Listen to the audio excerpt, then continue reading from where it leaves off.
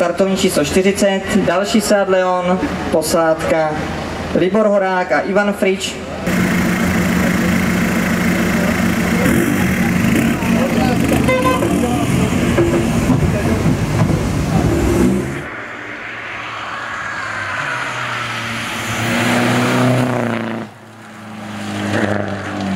Uh...